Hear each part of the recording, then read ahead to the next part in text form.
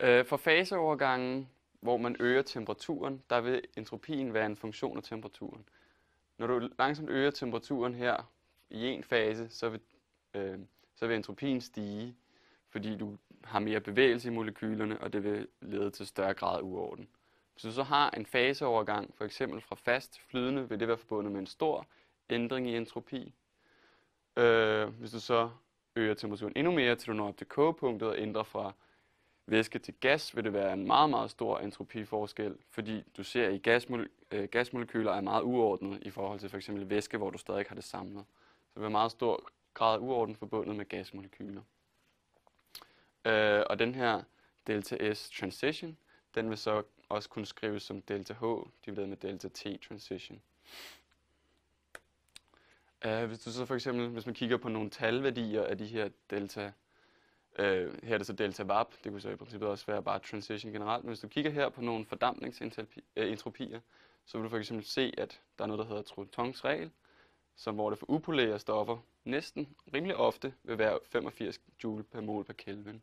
Men hvor du for eksempel ser for vand, at det vil være en del højere, blandt andet på grund af hydrogenbindinger.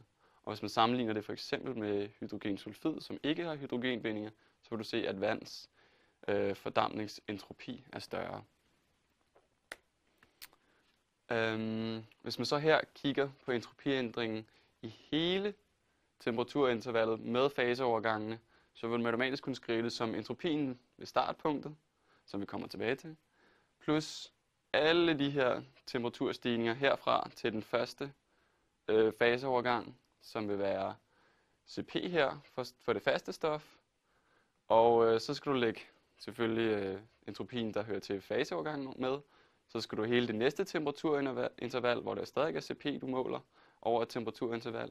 Så skal du have øh, den næste delta øh, entropiændring med for den næste faseovergang osv. Så, så kan man simpelthen regne den samlede entropi, der er i faseovergangen, eller i temperaturstigningen med faseovergangen.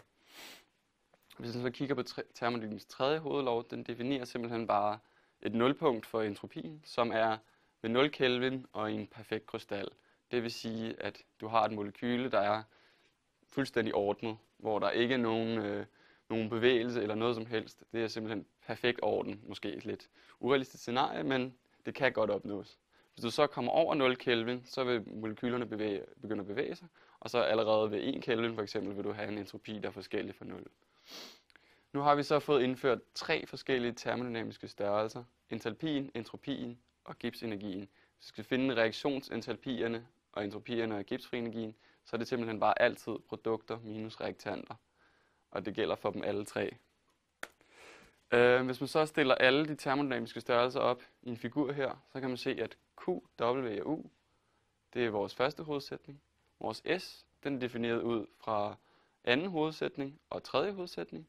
Og hvis du samler H, S og G, så har du den sammenhæng, vi har beskrevet tidligere her, som er meget vigtig, som man gerne må huske. Um, hvis man så kigger lidt på, hvad der sker med de forskellige fortegn af, af de her størrelser, og spontaniteten af det, så hvis delta H er negativ, og delta S er positiv, så får man en spontan reaktion, uafhængig af, hvad temperaturen er. Hvis delta H er positiv, og delta S er negativ, så er reaktionen øh, ikke spontan, ligegyldigt hvad temperaturen er. Hvis du har, at de begge er negative, så får du en øh, spontan ved lav temperatur, og øh, en hvad hedder det, ikke spontan ved høj temperatur. Hvis begge to er positive, så får du en ikke spontan ved lave temperatur og en spontan ved høje temperatur. Um, så kan du for eksempel, hvis man så kigger her på nogle taleksempler øh, for delta H og T gange delta S, så kan man se, at øh, det afhænger altså lidt af, hvad vi snakker om, om det bliver tale om en spontan eller ikke spontan proces. Her kan man se for eksempel som før, at der har du to positive størrelser, men du ender stadig med en ikke spontan proces.